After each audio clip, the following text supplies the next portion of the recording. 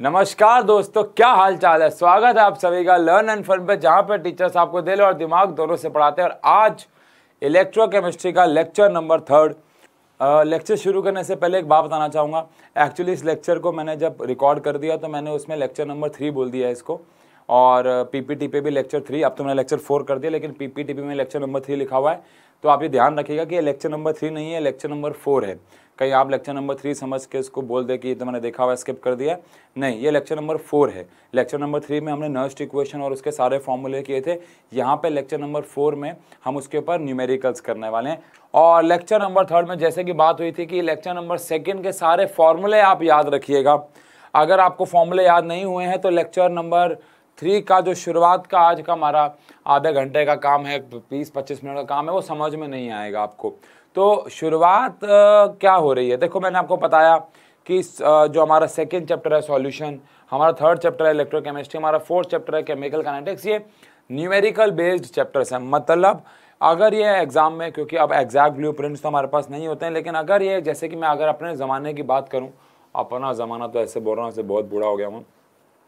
लेकिन मैं अपने टाइम की अगर बात करूँ तो वहाँ पे तब हमारे जैसे chemical kinetics three four marks का चैप्टर हुआ करता था एग्जैक्टली फोर मार्क्स और ब्लू प्रिंट के हिसाब से थ्री प्लस वन फॉर्मेट होता था, यानी एक क्वेश्चन एक नंबर का आता था और एक क्वेश्चन तीन नंबर का.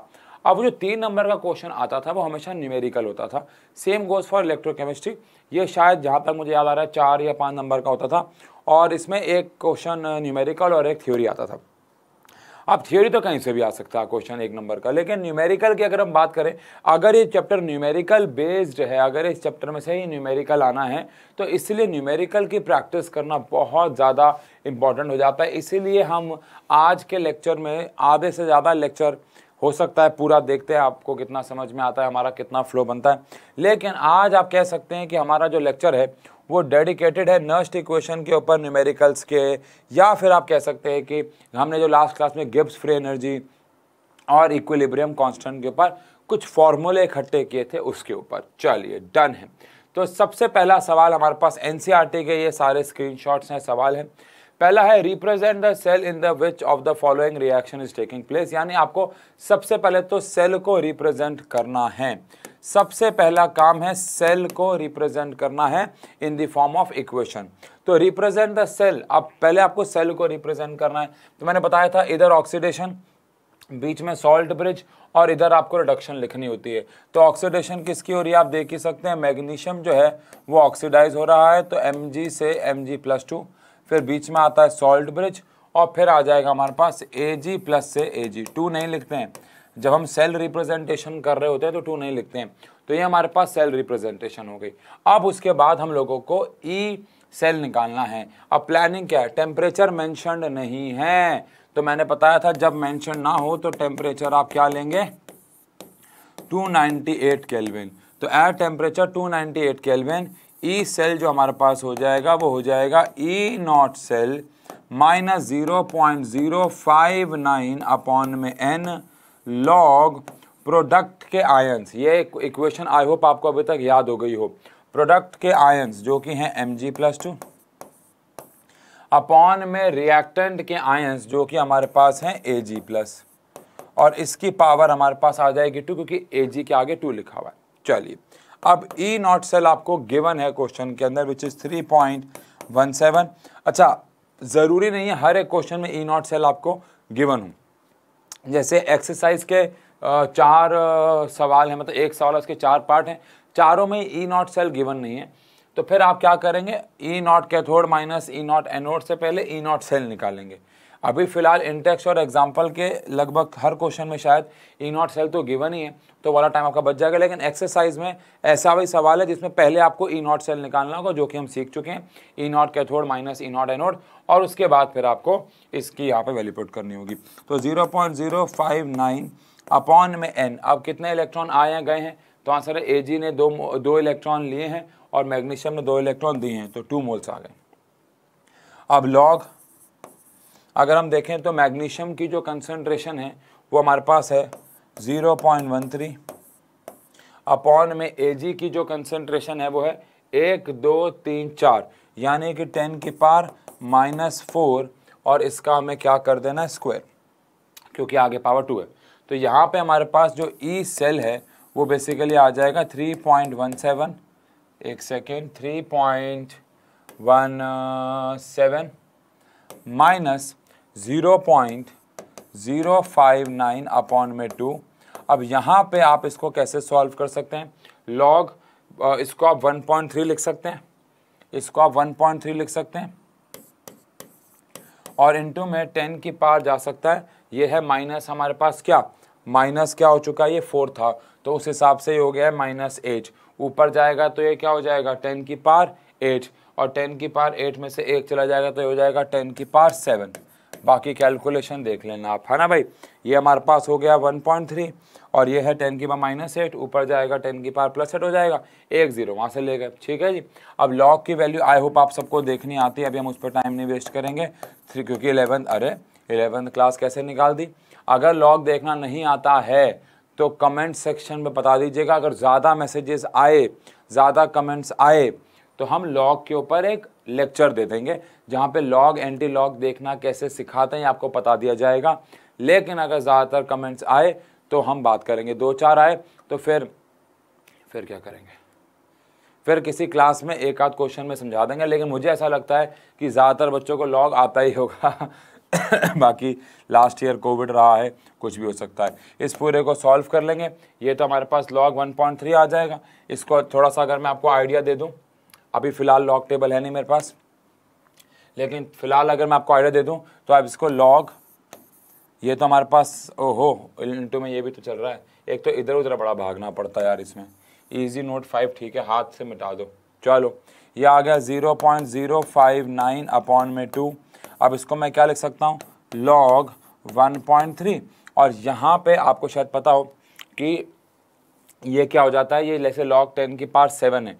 तो लॉग टेन की पार सेवन में ये सेवन आ जाता है ना? लॉग टेन वन होता है सेवन आ गया तो उस हिसाब से भी हम इसे कैलकुलेट कर सकते हैं। यहाँ लॉग वन पॉइंट थ्री की वैल्यू आ जाएगी, उसको सॉल्व करके, इसमें से माइनस करके इतना वोल्ट आंसर हमारे पास आ जाएगा। समझ गए?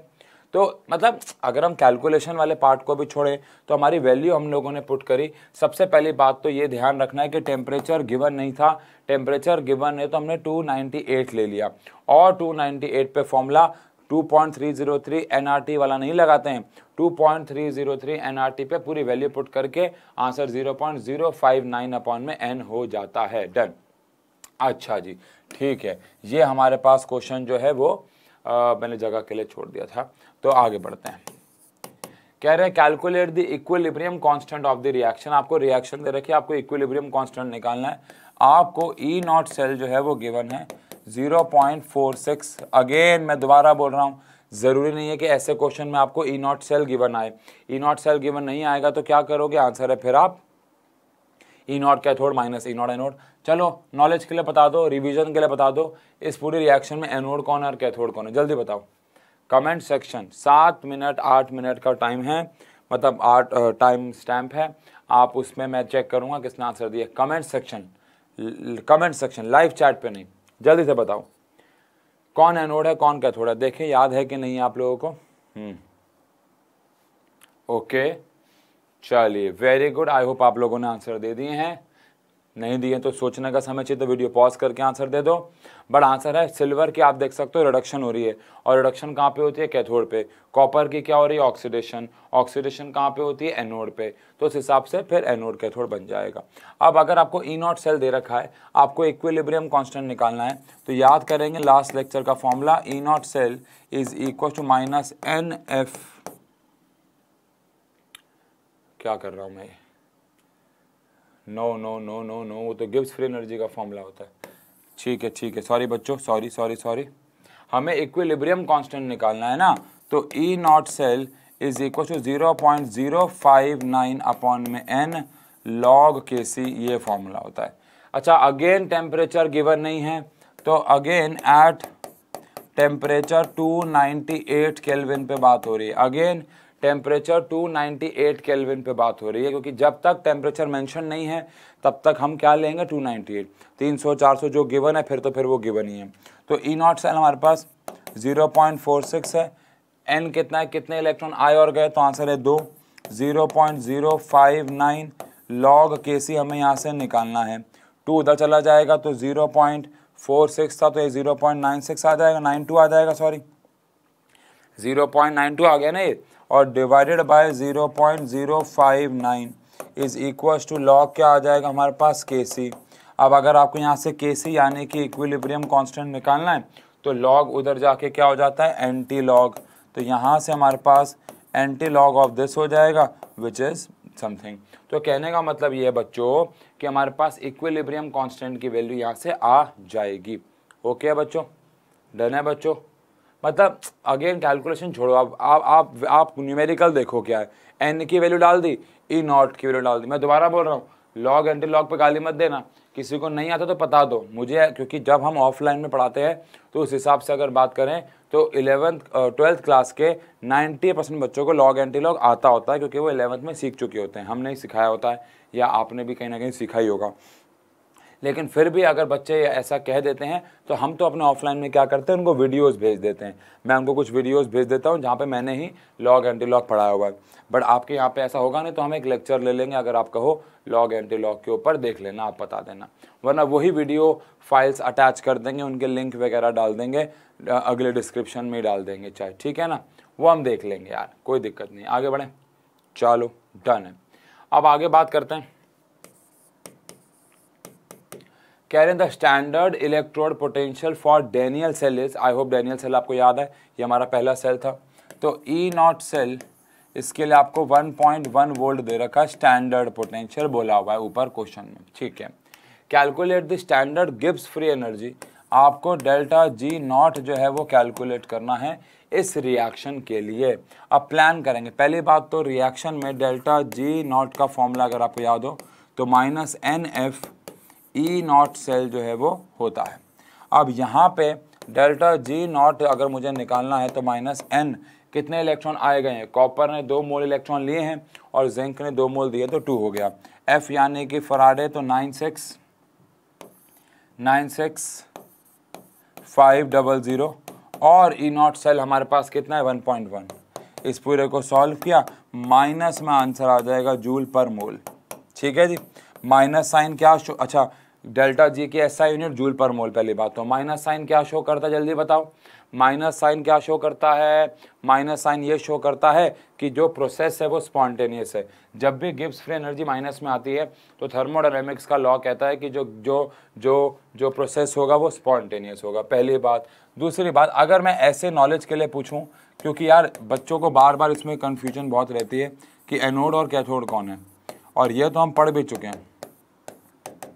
इस वाले में एनोड कैथोड कौन है? क्योंकि मैं आपको पता है, क्यों बार बार बोल रहा हूँ? ज़रूरी नहीं है कि आपको ई नॉट सेल एग्ज़ाम में गिवन आए। समझ रहे हो?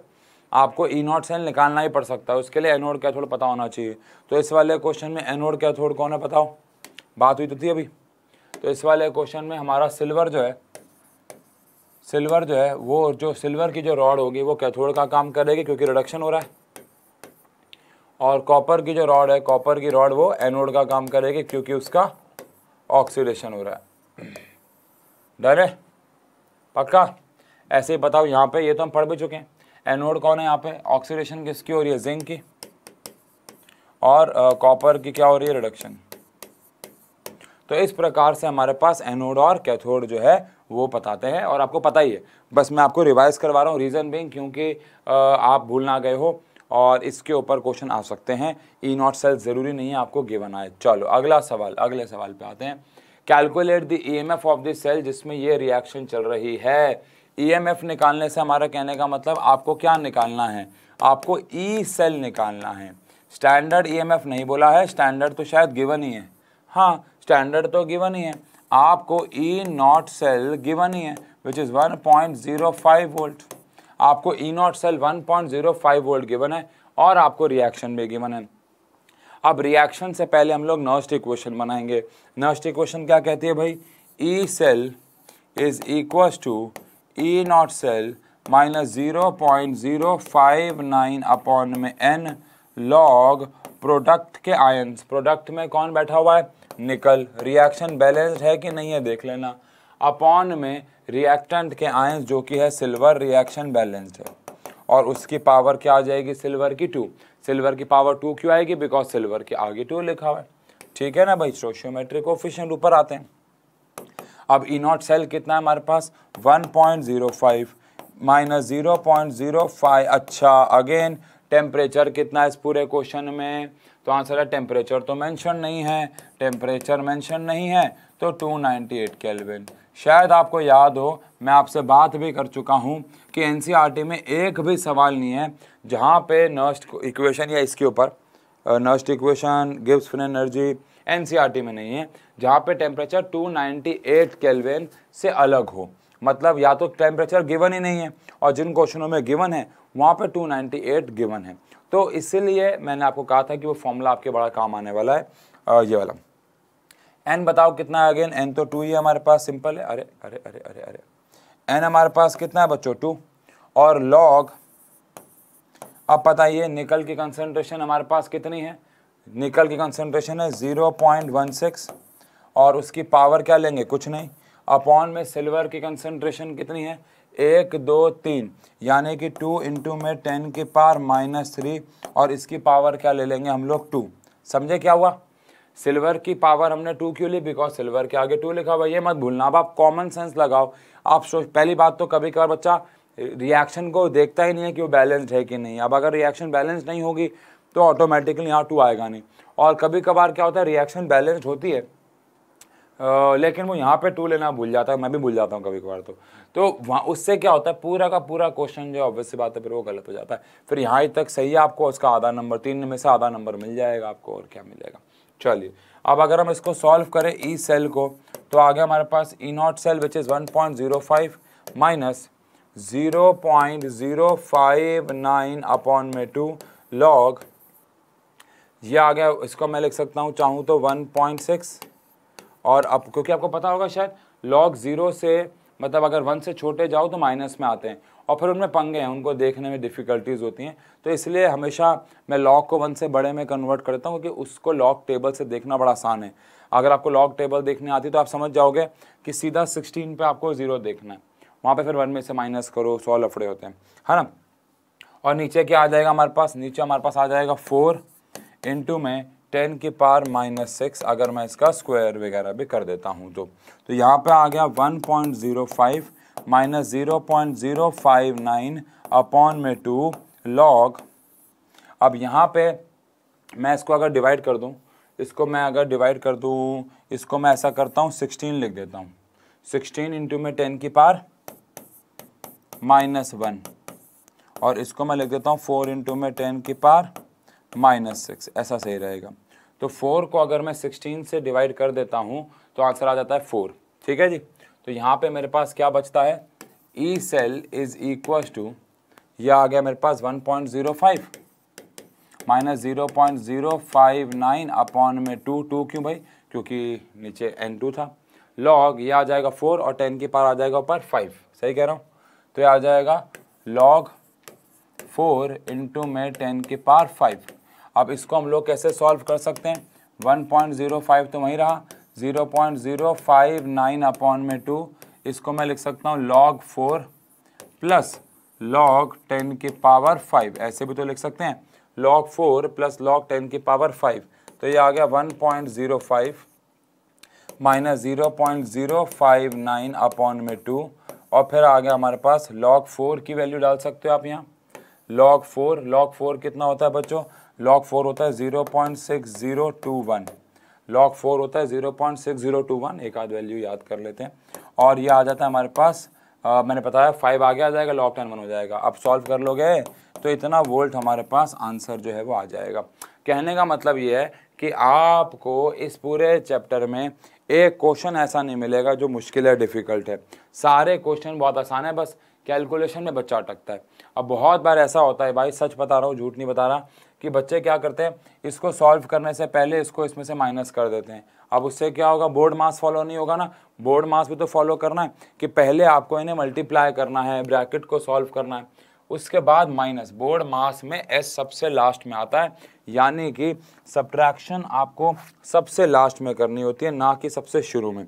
तो ये बात बस आप ध्यान रखिएगा, ठीक है बच्चों? तो दैट इज़ द पॉइंट आप ये बात ध्यान रखिएगा कि आप ये सब चीज़ें एकदम एंड में करेंगे। यानी इस पूरे को पहले सॉल्व करेंगे, फिर minus one point zero five करेंगे। पहले, उससे पहले इसको छेड़ेंगे भी नहीं। नहीं तो फिर एलसीएम लेंगे कि भैया पहले टू वाला एलसीएम वाला पंगा करेंगे। अब आप कहोगे, सर, इतनी छोटी बात आपने क्यों बताई? ये छोटी बात नहीं है। सच्ची बात है, बच्चे यहाँ पे अक्सर गलती करते हैं। ओके बच्चों? डन है, बच्चों? चलिए। ऐसा करते हैं, ये एक हमारे पास सवाल है। और इस सवाल को एक बारी आप अगर ट्राई करें ट्राई करोगे क्या? गिब्स फ्री एनर्जी और इक्विलिब्रियम कांस्टेंट दोनों के ऊपर है। और शायद ये आखिरी सवाल भी है। तो मेरे हिसाब से ट्राई करो इसको। ठीक है? लो। जल्दी से करना। ईमानदारी की बात है। कहाँ गया? हम्म। ईमानदारी की बात है।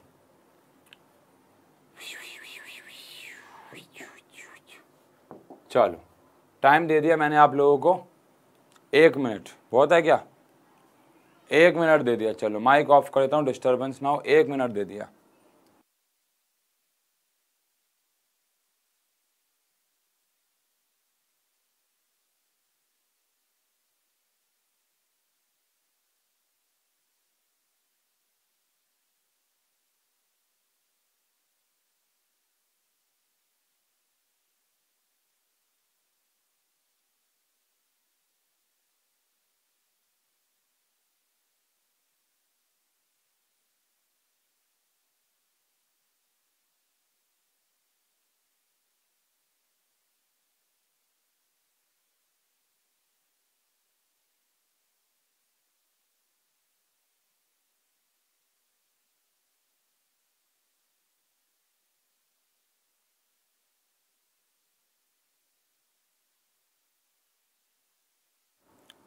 हाँ जी। आई होप हो गया है। ठीक है। कर लिया है सॉल्व बहुत इजी क्वेश्चन है ज़्यादा मुश्किल तो नहीं है। ठीक है जी। नहीं हुआ है तो इसका मतलब है आपने भी पिछला लेक्चर ढंग से नहीं देखा हुआ भाई। आपको भी फॉर्मूले याद नहीं है, आपने भी फॉर्मूले भी अगर याद हो गए, रट्टे मार लिए तो कंसेप्ट ही नहीं पता किसकी वैल्यू क्या पुट करनी है, क्या नहीं। गिवन लिखा होगा। सबसे पहली बात तो आपको टेम्परेचर 298 केल्विन गिवन ही है। सबसे पहली बात तो यहाँ पे टू अभी तक शायद पहला क्वेश्चन आया जहाँ पे टेम्परेचर गिवन है 298 उसके बाद आपको ई नॉट सेल जो है, वो भी गिवन है। कितना गिवन है? Zero point two three six volt given है। आपको रिएक्शन भी गिवन है।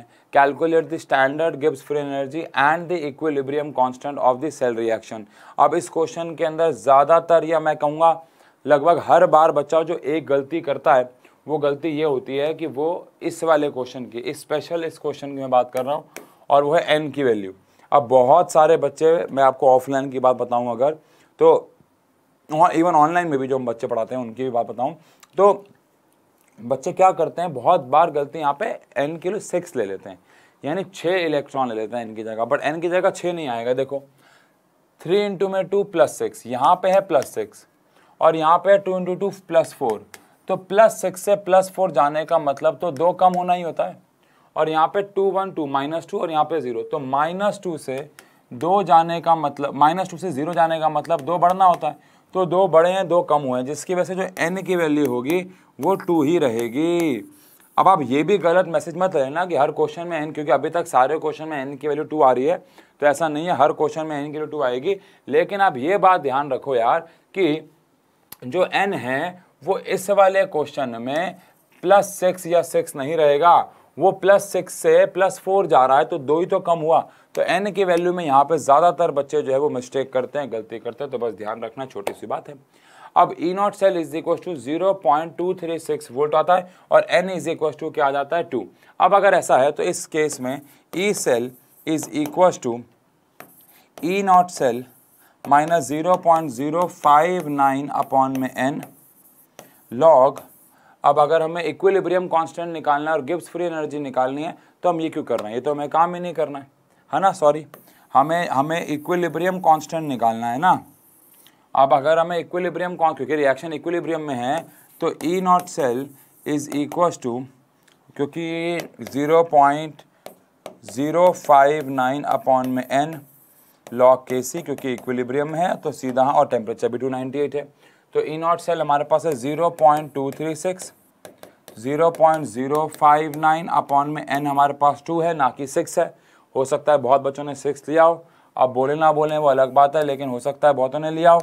और लॉग यहाँ पे क्या आ जाएगा? के सी ये चला जाएगा, इधर मल्टीप्लाई हो जाएगा zero point two three six into में टू अपॉन में zero point zero five nine और यहाँ पे क्या आ जाएगा? हमारे पास लॉग के सी तो यहाँ से के सी की वैल्यू आ जाएगी। Anti log of this. है ना? और ये सॉल्व हो जाएगा। अब यहाँ से इक्विलिब्रियम कांस्टेंट आ गया, लेकिन गिब्स फ्री एनर्जी कैसे निकालें? तो गिब्स फ्री एनर्जी अच्छा गिब्स फ्री एनर्जी कौन से निकलेगी? अकल लगाओ। स्टैंडर्ड ही तो निकलेगी। स्टैंडर्ड क्यों निकलेगी? बिकॉज़ आपके पास ई नॉट सेल है। आपके पास ई e सेल तो है ही नहीं और ना ही इस क्वेश्चन में आप ई e सेल निकाल सकते हो बिकॉज़ आपके पास कंसनट्रेशन नहीं है। तो अल्टीमेटली आई मीन टू से कि यहाँ पे आपके पास एक ही ऑप्शन बचता है और वो ऑप्शन है कि आप ई नॉट सेल निकालोगे। ऑल दो क्वेश्चन में सिर्फ़ अच्छा क्वेश्चन में स्टैंडर्ड गिव्स फ्री एनर्जी बोला भी हुआ है। अगर नहीं भी बोला होता तो भी हमें स्टैंडर्ड ही निकालना ऑप्शन ही नहीं हमारे पास, है ना? तो delta G naught is equal to minus N F E naught cell हमारे पास फॉर्मूला आ जाएगा। एन की वैल्यू दो हो गई एफ़ हो गया nine six five double zero और ई नॉट सेल हमारे पास कितना आ जाता है? ई नॉट सेल आता है zero point two three six zero point two three six और इस पूरे को सॉल्व करेंगे तो माइनस में जूल पर मोल हमारे पास आंसर आ जाएगा। माइनस में जूल पर मोल हमारे पास आंसर जो है वो आ जाएगा। डन है तो इस तरीके से ये जो काम है, ये जो लेक्चर है वो चलता है ओके अब आगे की अगर हम लोग बात करें तो इस चैप्टर में हमारे पास एक बहुत नया फ़ेज़ सा शुरू होता है। वो नया फ़ेज़ हमारे पास क्या है बच्चों? वो नया फ़ेज़ है कंडक्टेंस कंडक्टिविटी अब अब आप सब केमिस्ट्री के बच्चे हैं ट्वेल्थ के तो ऑब्वियसली बात है आपके पास फिजिक्स भी होगी। ये क्या सवाल है? सबके पास ही होगी। अब अगर आप सबके पास फिजिक्स है तो ध्यान देने वाली बात यह है कि हमने ये थर्ड चैप्टर में भी हाल ही में किया भी हुआ है। यानी कंडक्टेंस कंडक्टिविटी रेजिस्टेंस रेजिस्टिविटी ये हमने हाल ही में अभी एक चैप्टर में किया है जिसका नाम है करंट इलेक्ट्रिसिटी तो यहाँ पे मैं उसको बहुत शॉर्ट में समझाऊँगा। अगर आपको लगे कि नहीं, ये तो मेरे को नहीं आता है तो आप फिजिक्स का करंट इलेक्ट्रिसिटी वाला मेरा लेक्चर या किसी का भी लेक्चर उससे कोई फ़र्क नहीं पड़ता। आप जाके देख सकते हैं। जहाँ पर हमने इनको थोड़ा डिटेल में समझाया हुआ तो अगर अभी हाल ही में समझाया ही है तो फिर बहुत ज़्यादा एक्सप्लेन करने में टाइम वेस्ट वाली बात है। तो यहाँ पे मैं आपको बता देता हूँ, हमारा जो प्लान रहेगा, बस अब हम अब हम यहाँ पे बात एक सेल के लिए करने वाले हैं, क्योंकि अब हम ये केमिस्ट्री में पढ़ रहे हैं। लेकिन भावनाएँ वही हैं, यानी कि कंडक्टेंस रेजिस्टेंस कंडक्टिविटी रेजिस्टिविटी, ये सारी चीज़ें आपने फिजिक्स में पढ़ी हुई हैं। बस इन्हें हम दोबारा से आप कह सकते हो रिवाइज करो, थोड़ा जल्दी करेंगे, ठीक है ना? क्या आपको याद है R is equal to rho L by A होता था? ये फॉर्मूला हमने फिजिक्स में डिराइव किया हुआ है। यहाँ पे डिराइव नहीं करना है, लेकिन आपको पढ़ना है। आर होता है रेजिस्टेंस रो होता है रेजिस्टिविटी एल होता है हमारे पास लेंथ ऑफ़ द कंडक्टर होता था। यहाँ पे लेंथ ऑफ़ द सेल होगा। और A area of cross section of the conductor होता था। यहाँ पे ए जो है वो एरिया ऑफ़ सेल होगा, बस और कुछ नहीं है। बाकी सब वही है। अब याद करेंगे कंडक्टेंस कंडक्टेंस क्या होता है बच्चों? कंडक्टेंस होता है वन अपॉन रेजिस्टेंस कंडक्टेंस क्या होता है? वन अपॉन रेजिस्टेंस याद है? और कंडक्टेंस की जो एस आई यूनिट हो जाए अब रेजिस्टेंस की एस आई यूनिट क्या होती है? ओम तो कंडक्टेंस की एस आई यूनिट हो जाती है ओम इनवर्स जिसको मोह भी कहते हैं, जिसको साइमन भी कहते हैं। है ना? पता ही होगा। ये हम फिजिक्स में डिस्कस कर चुके हैं। फिर ऐसे आता है हमारे पास कंडक्टिविटी कंडक्टिविटी आता है वन अपॉन रेजिस्टिविटी कंडक्टिविटी आता है one upon resistivity conductivity is equal to one upon resistivity अच्छा कंडक्टेंस को सिंबल की फॉर्म में हम लोग जी से दिखाते हैं which is one by R chemistry की बात कर रहा हूँ। और कंडक्टिविटी को हम लोग के से दिखाने वाले हैं which is one upon rho इसकी एस आई यूनिट क्या होगी बताओ भाई? अगर आपको याद हो तो रेजिस्टिविटी की एस आई यूनिट होती है ओम मीटर फिजिक्स में, बात कर चुके हैं। तो इसकी क्या हो जाएगी बताओ? ओम इनवर्स मीटर इनवर्स या फिर मोह मीटर इनवर्स या फिर साइमन मीटर इनवर्स बात एक ये सारी। अब फिजिक्स में हम लोग ओम इनवर्स ज़्यादा इस्तेमाल करते हैं आप सब जानते हैं। लेकिन केमिस्ट्री में हम लोग कारण मुझे मेरे पास नहीं है। हम साइमन काफ़ी जगह इस्तेमाल करेंगे या ज़्यादातर जगह पे साइमन ही इस्तेमाल होगा। कारण मेरे पास नहीं है ऐसे मर, उनकी मर्ज़ी है। लेकिन फिजिक्स में हम ओम इनवर्स इस्तेमाल करते हैं। यहाँ पे ओम इनवर्स, यहाँ पे ओम इनवर्स, मीटर इनवर्स। लेकिन ठीक है, हम केमिस्ट्री में साइमन मीटर इनवर्स या साइमन सेंटीमीटर इनवर्स भी यूज़ करेंगे बिकॉज़ सेल की लंबाई मीटर में अक्सर नहीं होती है तो सेंटीमीटर भी दिखेगा मीटर भी दिखेगा, दोनों दिखेंगे। ठीक है जी? ये तो पुरानी पढ़ाई है। इसमें तो कुछ नया नहीं है। बोलो, अब इस पूरे बोर्ड पे मैंने कुछ भी नया नहीं कराया अगर आपको इस बोर्ड पे कुछ भी समझ में प्रॉब्लम हुई है तो आप जाके करंट इलेक्ट्रिसिटी का थंबनेल पे लिखा होगा कंडक्टिविटी ये सब, वो हमने पढ़ाया, आप एक बार गो थ्रू जाके कर सकते हैं। ठीक है। अब अगर हम यहाँ पे बात करें कि R is equal to rho L by A हमने किया। अब अगर मैं रो को इधर ले आऊँ और आर को नीचे ले जाऊँ ऐसा क्यों किया ताकि वन अपॉन रो को मैं कंडक्टिविटी और वन अपॉन आर को मैं कंडक्टेंस लिख सकूँ? वन अपॉन रो क्या है कंडक्टिविटी और वन अपॉन आर क्या है कंडक्टेंस इंटू में एल बाय ए है। अब जल्दी से एक बात सोच के बताओ, क्योंकि अब हम जो फॉर्मूला लिखने जा रहे हैं, उसके ऊपर काफ़ी न्यूमेरिकल इस चैप्टर में आएँगे। लेकिन जल्दी से एक बात सोच के बताओ कि ये जो एल और ए है, ये जो एल बाय ए है, ये क्या है? ये जो एल बाय ए है, ये क्या है?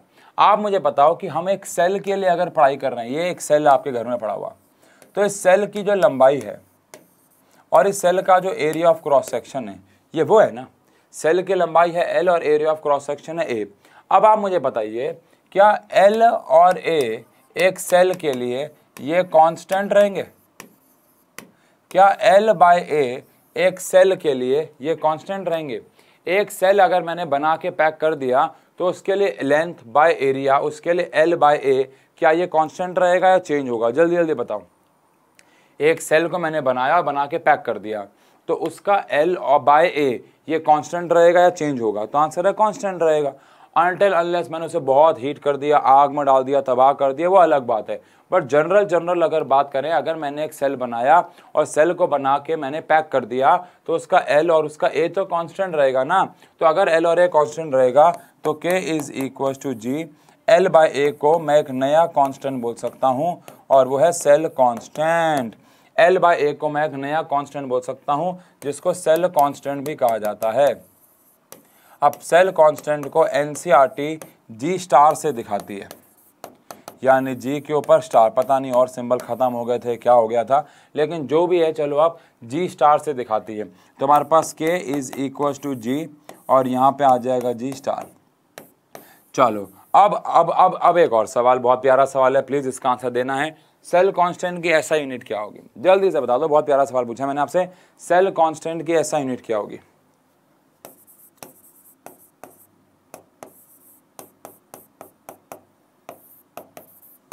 बताओ भाई। अगर जी स्टार यानी cell constant L by A है तो एल की आई यूनिट मीटर और एरिया के मीटर स्क्वायर एक मीटर से एक मीटर कैंसिल हो गया तो आंसर आ गया मीटर इनवर्स। यानी जो सेल कांस्टेंट है, उसकी यूनिट क्या होगी बच्चों? Metre inverse. सेल कांस्टेंट की एस आई यूनिट हो जाएगी मीटर इनवर्स। डन है। तो ये यानी कि मैं अगर यहाँ पे इसको नीले बक्से में लूँ तो ये वाला फॉर्मूला, इसके ऊपर न्यूमेरिकल्स हैं।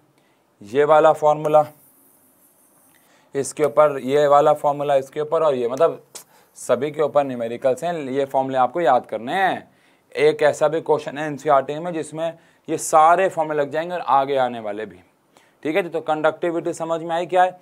कंडक्टिविटी मतलब है कि वन अपॉन रजिस्टिविटी और conductance one upon resistance resistance क्या होता था? रुकावट। कितनी रुकावट पैदा हो रही है करंट फ्लो होने में? तो कंडक्टिविटी क्या हो जाएगा? अगेन मैंने फिजिक्स में समझाया हुआ है the ease with which the current flows one upon अगर रेजिस्टेंस रुकावट है तो वन अपॉन रेजिस्टेंस यानी कंडक्टेंस तो इजीनेस हो गया ना, कितना आसानी से करंट फ्लो हो रहा है। ऐसे रेजिस्टिविटी वाले खेल के साथ उल्टा हो जाता है। डन है? चलिए, अब अगर हम लोग बात करें तो यहाँ पे हमारे पास एक टॉपिक आता है, जिसको हम बोलते हैं मोलर कंडक्टिविटी अब मोलर कंडक्टिविटी को आज हम शुरू नहीं कर सकते, क्योंकि उसके लिए मुझे प्रॉपर आप कह सकते हैं, एक, हिस्सा चाहिए, एक कम से कम बीस मिनट चाहिए, क्योंकि उसके ही खुद के अपने आप में तीन फार्मूले, चार फार्मूले हैं। तो जो हमारा अगला लेक्चर आएगा, इलेक्ट्रोकेमिस्ट्री का, मेरी बात लेकिन पहले आप ध्यान से सुने। इलेक्ट्रोकेमिस्ट्री जो है, उसमें हमारा जो जो दो, जो न्यूमेरिकल के दो फ़ेज़ हैं। पहला फ़ेज़ हमारे पास नर्स्ट इक्वेशन के ऊपर न्यूमेरिकल के हैं, जहाँ से 90 परसेंट या 80 परसेंट न्यूमेरिकल आने के चांस हैं। और एक फ़ेज़ ये वाला है यानी कि कंडक्टिविटी वाला, जिसमें इसके ऊपर और जो हम अगली क्लास में इसको जोड़ेंगे मोलर कंडक्टिविटी के ऊपर, वहाँ से न्यूमेरिकल आने के चांसेस हैं। तो लेकिन 80 प्रतिशत नर्व से हैं और 20 प्रतिशत यहाँ से हैं। लेकिन ध्यान रखिएगा 20 प्रतिशत एक बहुत बड़ी वैल्यू होती है। तो इस चैप्टर में 80 परसेंट न्यूमेरिकल जहाँ से आने के चांसेस है, वो तो हमने पढ़ लिया। बचा हुआ 20 वाला हम अगली क्लास में करेंगे और अगली क्लास में हम लोग टाइप्स ऑफ़ सेल भी पढ़ लेंगे। और मुझे लगता है हमारा अगला लेक्चर में ये चैप्टर खत्म हो जाएगा। नहीं तो एक लेक्चर और दे देंगे, वो देख लेंगे। लेकिन ये चैप्टर अब बहुत जल्द खत्म होने वाला है और इसके बाद वापस से ऑर्गेनिक पे आना है या नहीं आना है, वो आप मुझे बता दीजिए कमेंट सेक्शन पे। कि क्या हमें वापस से ऑर्गेनिक पे आना है या इसी पे रहना है। ठीक है जी? मतलब आप कमेंट सेक्शन में बता देना कि क्या हम एल्कोहल फिनॉल पे आ जाएँ या केमिकल कानेटिक्स शुरू करें। मैंने अपने ऑफलाइन में तो वैसे दो बैचेज़ हैं। एक में हम लोगों ने एल्कोहल फिनॉल करा दिया और एक में केमिकल कानेटिक्स आप लोग बताना। ठीक है जी? तो मिलते हैं अगले लेक्चर में. Thank you so much